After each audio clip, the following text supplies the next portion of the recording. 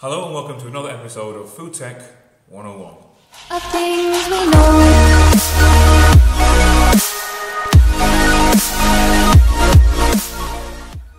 Today I'm going to show you how to make a quiche.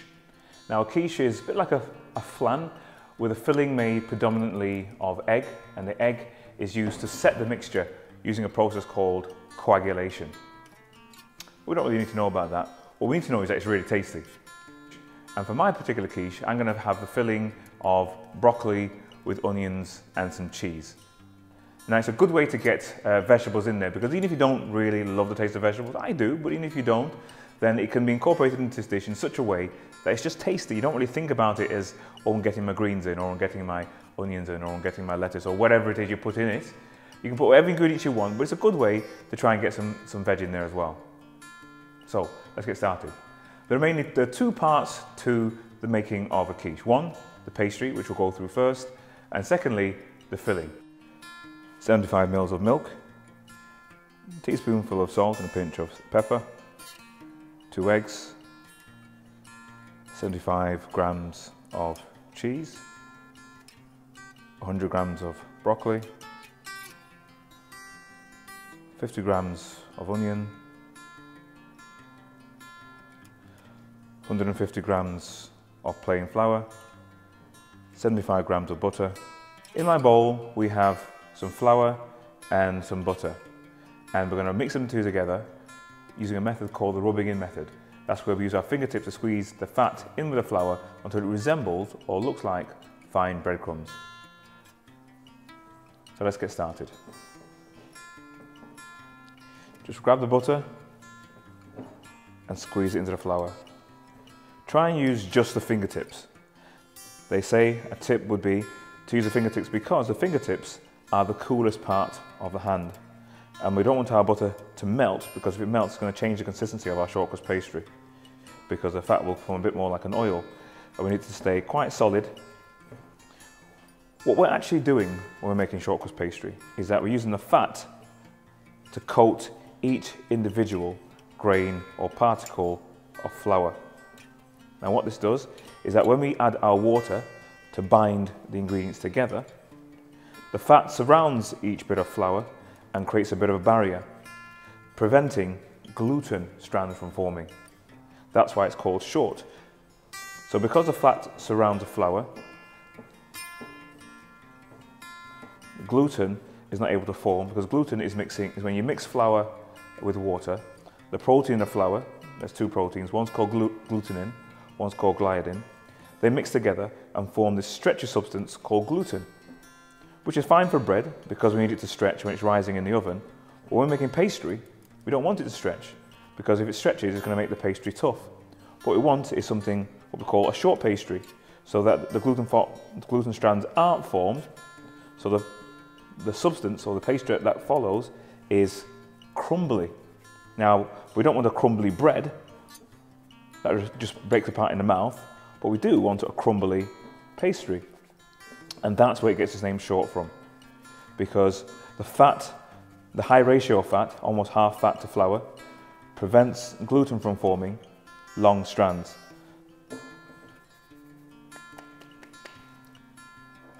So into my mixture, I'm going to put about a teaspoonful of cinnamon. Maybe half a teaspoonful.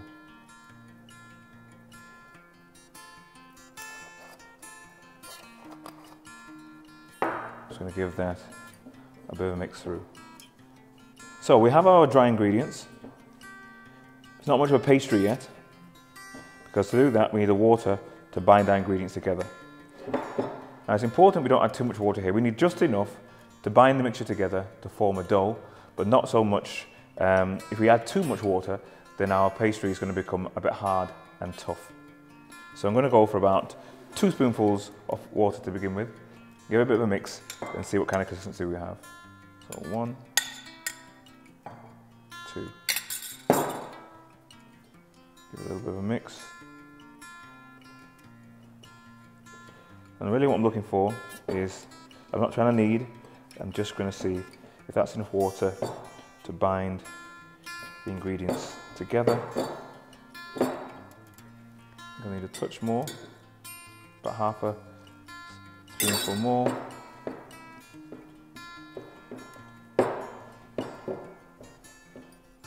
That's important that we're not kneading. I'm just trying to gather all the ingredients together so it forms a nice dough. Incidentally, the same process of making our pastry for our quiche is almost the same process, virtually the same, well, to say identical, to making paste, short crust pastry for any other dish that requires it. There we have our pastry dough ball. Now we need to roll it out. Okay, so we've got our short crust pastry dough. What we do now is roll it out.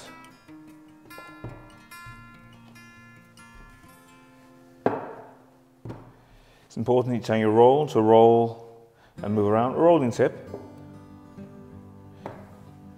Roll from the center, forwards, center back.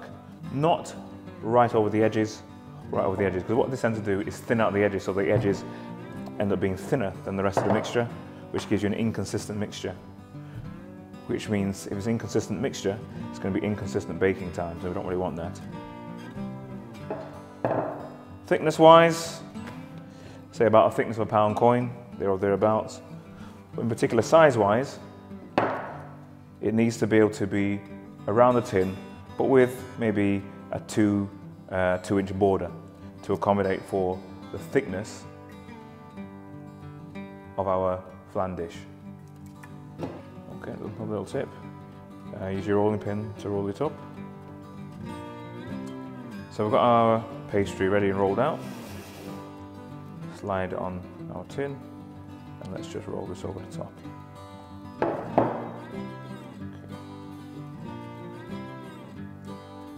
Now, while I'm doing this, it gives me an opportunity to tell you about something called blind baking. Now, what is blind baking? That's a question. Let me see if we can find the answer for you. Blind baking. Now, you don't always have to do it. I don't always do it. If I was making this particular dish for myself, I don't think I would bother with blind baking. Um, but for the perfect result, if you have the patience, is to blind bake it. Now, why do we, what is blind baking and why do we blind bake? Now, blind baking is a term which means um, we're going to pre-bake our pastry before we put our filling in. The question is why?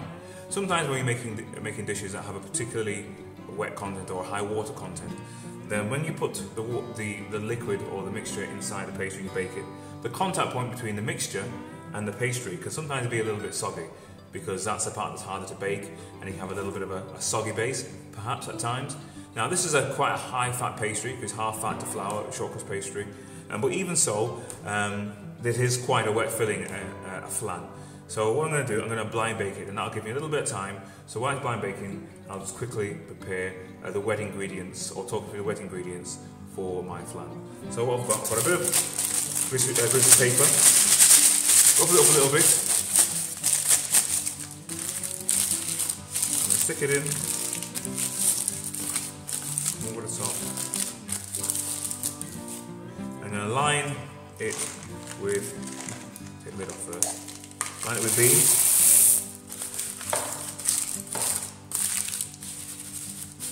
Now the reason why we line it when we're blind baking it, because if you don't line it, then the, the, the base has a tendency to rise up. This keeps our base nice and flat. So we have our pastry there. Pop this in the oven, come back in about 10 minutes.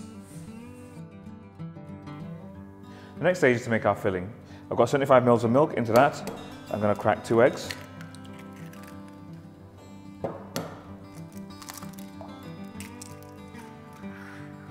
Add a pinch of salt and pepper.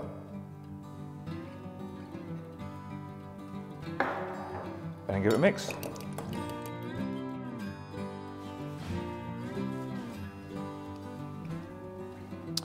Okay, I pushed it out of the oven.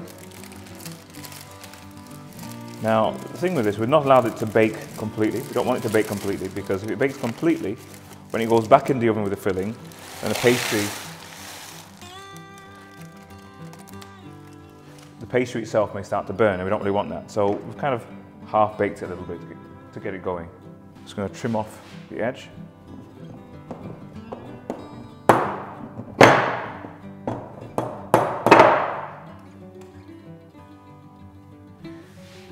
Now, if you're watching this and you're one of my students, then in class we probably will not blind bake this because we don't have time within one lesson to, to blind bake. But just to let you know what blind baking is. So we've kind of half baked our, our, our pastry, not fully baked because it is going to go in the oven again. Now we're going to do is just add in our ingredients, our filling. Now your filling can be whatever you want it to be. For my filling, I'm going to keep it simple. I'm going to have some broccoli because I want to, want to really get my greens in. This is a tasty way of doing it. So I'm going to sprinkle my, my broccoli in. Into that, I'm going uh, I've got my onions. I'll sprinkle my onions in. I mean, into this you can really put whatever, whatever you really want. But I think this is a really good way, a tasty way as well, of getting lots of vegetables. You could use some cauliflower, you could use some kale, you could use whatever greens you like, mushrooms as well, whatever greens you like, or even whatever greens you don't like. You'd be surprised. Once they're in, in this kind of dish, it works quite well. So I've got my onions and my broccoli in there, and finally, I'm just going to sprinkle over my cheese. Now for this dish, I've used vegan cheese, but you can use whatever cheese you desire. I mean, already it's really looking quite pretty. Now, for the egg. Now, the purpose of the egg in this particular dish is twofold. One, it is partly for the taste, and secondarily, it is to help bind all these ingredients together. I'm going to pour it over in that kind of way to make sure I'm covering all the vegetables. Because this is like the glue that's going to set and bind everything together. So I want to make sure it covers it properly. Okay, there's our filling. So now I'm going to bang this in the oven for about 20 minutes. And here's our quiche out of the oven. As you can see, brown nice around the outside. The base, very well done. No leakage, it's not damp at all. Let's cut it open and see what it's like inside.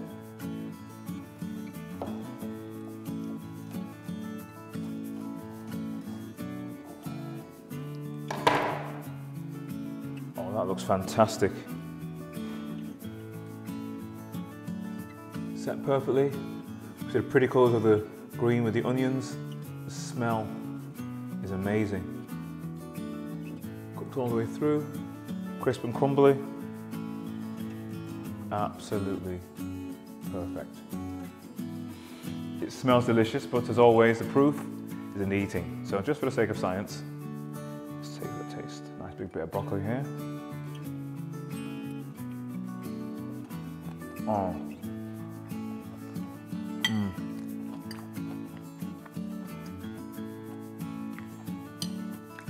creaminess of the cheese.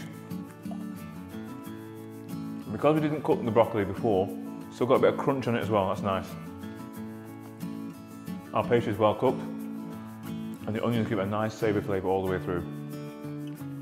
A simple, tasty, quick, easy to make dish. And it's a good opportunity to be able to get more veg in as well. Once you put a little bit of cheese on top, you put the egg filling over the top to bind everything together. Um, you really forget even the fact that you're actually eating vegetables. So it's a good way to put in whatever vegetables you like. Peppers, broccoli, get some cabbage in there, different types of greens, mushrooms. Once you put it all in, a bit like a pizza in a way, like a pizza, almost like a pizza pie. So you can really use it as an opportunity to get all the vegetables in that you really like to get in.